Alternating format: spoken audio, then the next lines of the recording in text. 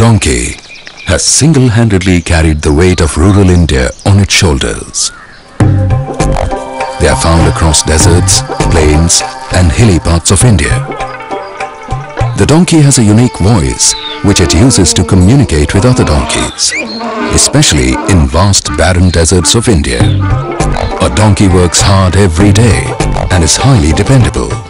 It is a great help to the laborers of India. In many parts of the country, where there are no roads or mode of transportation, the donkey is preferred. Hard-working and humble it always was, but the donkey is loyal too. Vote for the next national animal. Vote for the donkey.